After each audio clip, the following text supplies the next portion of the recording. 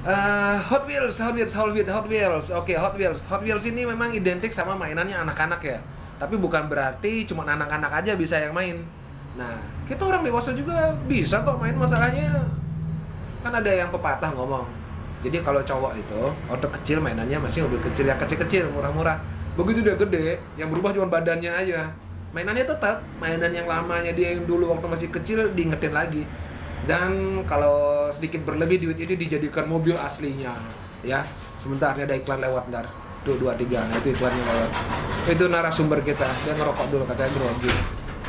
Nah terus habis itu, ah, ini kebetulan ada teman, ya. Dia sebenarnya punya uh, tempat modifikasi ya namanya Marvin Auto Culture kalau nggak salah ya jadi ini salah satu tempat modif mobil di Denpasar yang memang memang hmm, oke banget ya oke banget jadi salah satu inilah jadi salah satu rujukan kalau kawan-kawan mau modif mobil mobil beneran ya tapi sekarang dia ekspansi bukan cuma mobil beneran aja yang dimodif mobil Hot Wheels pun sekarang dimodif oke Nah, sebentar dulu, jangan ditunjukin ya hasilnya kayak apa.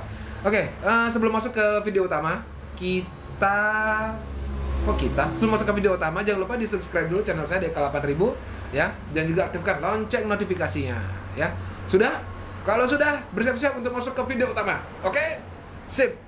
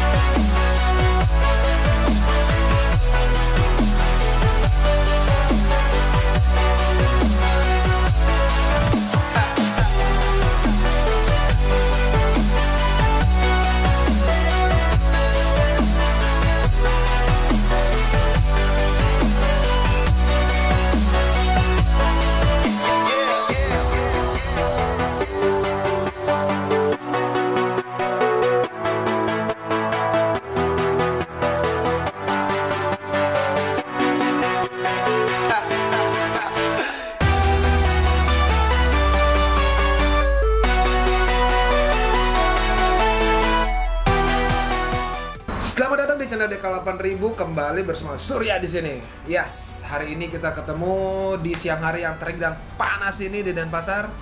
Setelah kemarin sempat hujan, jadi hari ini kita ngebahas masalah modifikasi lagi. Cuman modifikasinya adalah modifikasi mobil mainan. Hot Wheels. Ini adalah Porsche Porsche 934 Turbo RSR ya. Ini banyak nih dijual nih di Carrefour ada di mana namanya Indomaret ada di Circle K mungkin ada ya. Ini harganya mungkin sekitar 20-30 ribuan kali ya. Kalau apes ada beli 35 ribu. Kalau untung ya berarti dapatnya 23 ribuan kalau nggak salah. Nah, ini aslinya setelah dimodif sama si Coco Marvin jadinya kayak gini. Coba perhatiin. Eh mana dia nggak kelihatan. Nih, kayak gini jadinya. Tuh, ada twin turbonya tuh. Velgnya juga sudah diganti, bannya juga sudah diganti, ini pakai ban ban plastik. Catnya juga udah diganti, bunglon nih kalau nggak salah ya. Dan ditambahin details ini lampunya kayak ada lampunya, jadi keren banget jadi ya. Dan ini tahu lakunya berapa? Tahu lakunya berapa? eh, 350 ribu. Tuh. Dahsyat kan? Iya, keren. Udah, biar jangan salah informasi nanti modifikasinya seperti apa si Hot Wheels ini. Kita langsung saja dengan narasumbernya. Si Coco Marvin.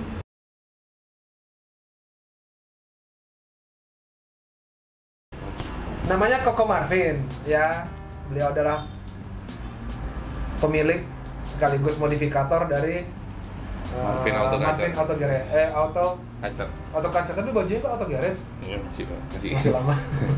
Oke, kok ceritain dong kok gimana ceritanya bisa kenalan sama si dunia Hot Wheels? Iya. Karena setahu saya dulu Koko kan pemain mobil beneran ya tiba-tiba Hmm. ke Hot Wheels. Piye ceritanya kan? Pertama lihat teman, Hmm.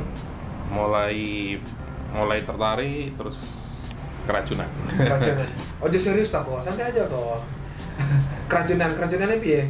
Duitnya atau modifnya atau Em, bentuk Hot Wheels yang sekarang kan jauh lebih bagus. Hmm. Jadi castingnya dulu dulu saya nganggap Hot Wheels itu Hmm. dia mobil yang castingnya nggak bagus, terus kurang kurang menarik lah untuk dikoleksi.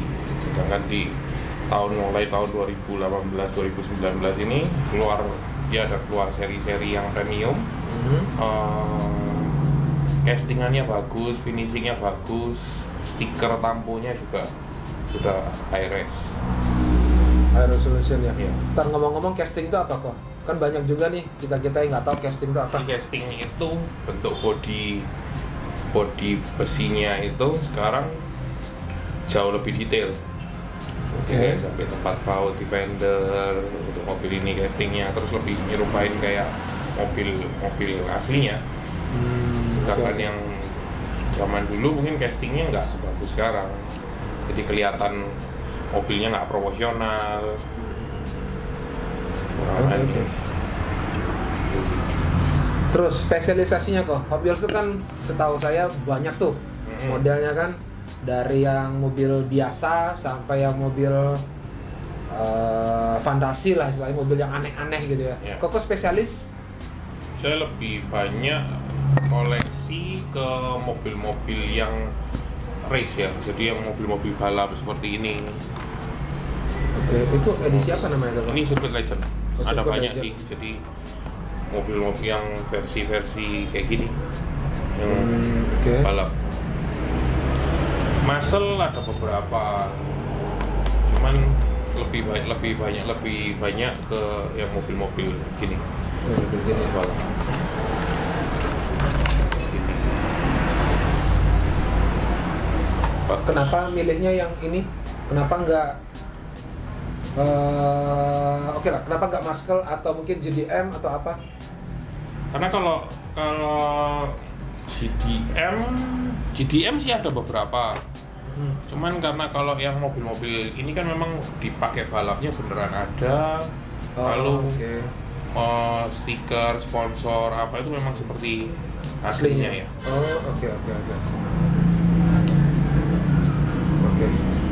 Nah ini kalau boleh tahu yang versi ini kayaknya Circuit Legend ini kayaknya nggak dijual di ini ya? Tidak dijual di pasaran, Enggak semua. nggak semuanya. Iya. Kalau boleh tahu sebijinya berapa ini kok?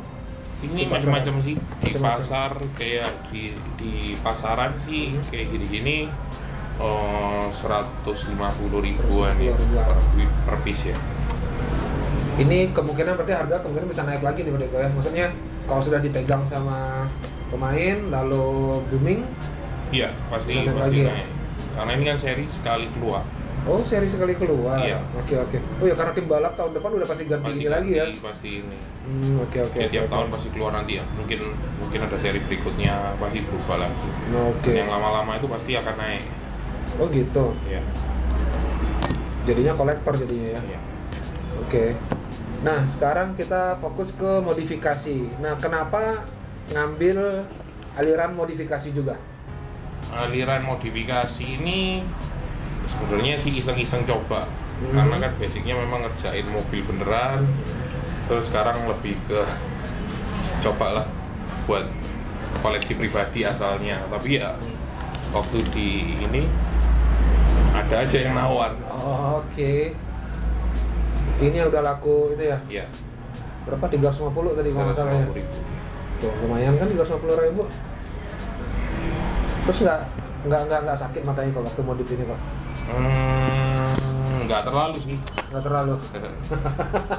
Karena itu kan setahu saya itu bautnya bukan baut sih. Itu kan semua serba kecil. Iya, Paling nggak pakai akan eh, ya mungkin apa namanya mikroskop atau apalah kayak gitu berarti ya. finishingnya memang lebih harus hati-hati karena Hmm. mesti perhatiin garis body, nut, semuanya harus detail. Garis bodi yang gimana maksudnya Pak? Ya kayak garis pintu apa kalau kita bikinnya terlalu cat apanya terlalu tebel nanti tempat-tempat kayak tempat baut nut-nut untuk pintu apa hilang semua kalau Oh, karena ketebalan iya. cat itu ya. Nah, Oke oke oke oke.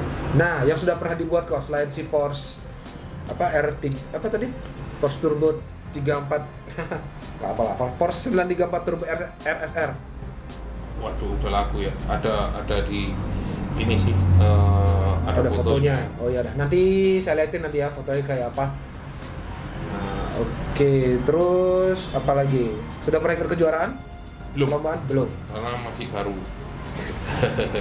Oke, masih baru. Terus ini lagi. Nah, biasanya kalau para pemain pasti punya eh, apa namanya? koleksi yang paling dibanggain, ya ya kan? Nah, Koko apa? koleksi yang paling dibanggain Heeh. apa ya?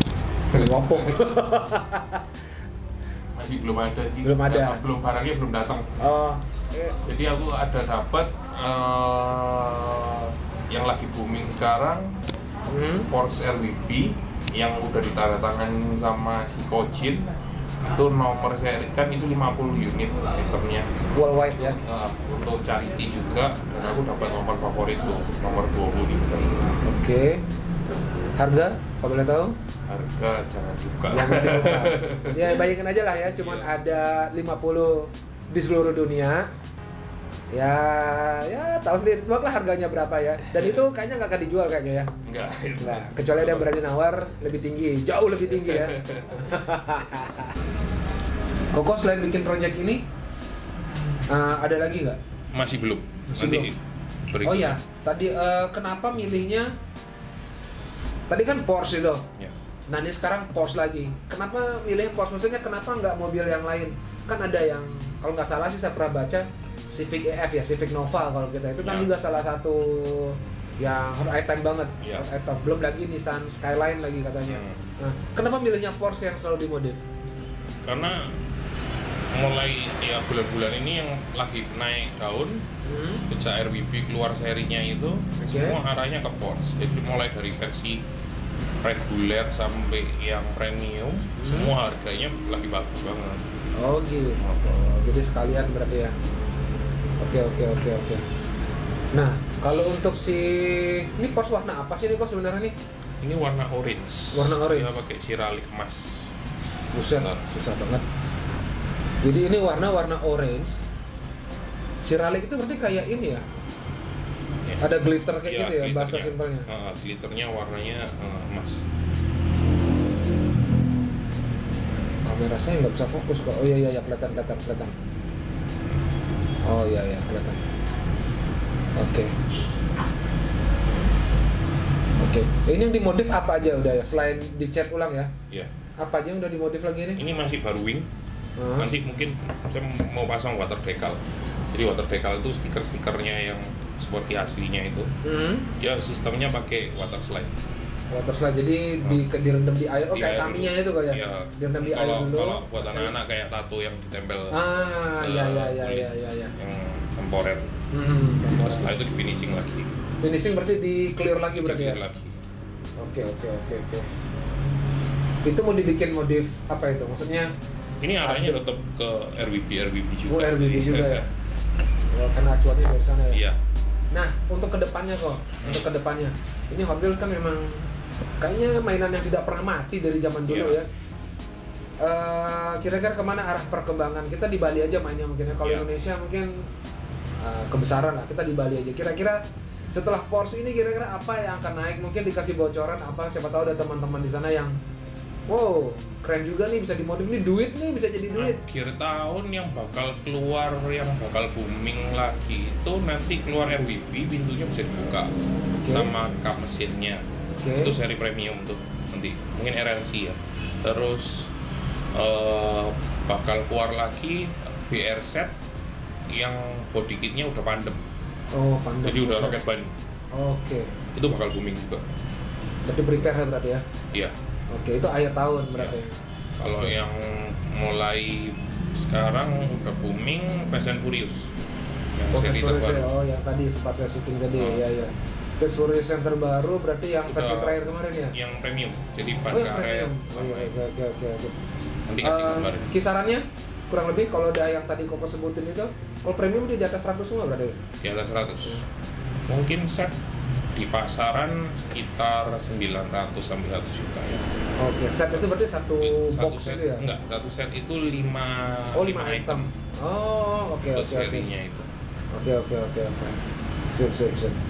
Terus apa lagi nih kok kira-kira yang perlu dita- diketahui sama kawan-kawan yang mungkin mau main uh, Hot Wheels yang baru-baru pengen main atau pengen mau koleksi ada tips and triknya nggak? Biar beli mobil siapa tahu mau dijual lagi biar nggak mubazir. Beli mobil yang kalian suka. Beli mobil yang suka Terus, kalian eh? suka. Yang pertama harus suka dulu. Oh ya oke terus? Memang kalau kita ngomong investasi kan banyak mobil yang ada item-item tertentu yang memang bisa diinvestasi. Hmm. ini gini-gini ini kan banyak serinya dia bisa ini bisa investasi juga karena Oke. ke depannya pasti harganya juga bagus kalau kita ngomong nilai investasi Hmm, oke tapi kalau masalah selera kan kolektor macam-macam ada yang kolektor GDM ada yang kolektor eh, muscle car macam-macam Oke oke. Berarti kemungkinan saya tahu ada pengganggu di belakang nih. Mana dia ada malu gundul. Oh, lagi pergi. Eh, berarti sebenarnya semua mobil itu ada kemungkinan ada chance-nya berarti untuk istilahnya untuk diburu kolektor gitu Iya. Ya berarti ya. Cuman kalau kalau Jepang sih hmm, Datsun 510 sekarang yang memang lagi booming itu kalau nggak salah kan aslinya memang lagi sedang iya lagi, top lagi top icon juga Iya. itu kalau nggak salah ya. Uh, dia serinya banyak banget dan semuanya orang koleksi itu sampai di versi reguler pun harganya juga bagus banget Oh ya? ya Datsun 510. Nah, itu kawan-kawan, kalau ada yang pingin coba deh. Kalau main ke Indomaret, ke Carrefour atau apa pun, coba sesekali lewat, samperin itu tempat mainannya anak-anak. Ya, di sana ya nyantol Iya. biasanya ya. hunting-hunting Iya, hunting. Tapi tetap aja sih, doanya adalah semoga berhasil. Karena biasanya para hunter-hunter itu biasanya udah gila-gila semua, ya nggak kok? iya Terus terus, apa lagi kok? Itu aja tips and triknya atau Iya. ada lagi? itu aja sih Itu aja. Oke, sip. Jadi sudah punya channel YouTube? belum. Belum. Maksudnya kalau udah ayo kita collab itu maksudnya. Oke oke. Oke kalau itu terima kasih banyak waktunya kok ya. Iya. Eh, itu tadi video singkat. Eh bukan singkat sih lama banget nih kayaknya. Ada sekitar di atas 10 menitan 15 menit kali ya. Eh, dari si Koko yang ya sedikit banyak sudah men-sharing pengalaman untuk main Hot Wheels. Jadi kawan-kawan yang pengen main Hot Wheels ya bisa mainlah ke sini lah ke Marvin Auto Garage sekali eh Auto Garage Marvin Auto Coucher ya jadi ya siapa tahu hmm, pingin beli koleksinya mungkin atau pingin belajar modif ah ya ada casnya kok ya belajar gratis tapi kalau mau lebih lagi silakan dibayar oke demikian kita ketemu lagi di video mendatang jangan lupa di Ah, Jangan lupa di like, share, komen, dan di subscribe. DK8000, kita ketemu lagi di video-video mendatang. Oke, terima kasih. Have a nice day. Bye-bye.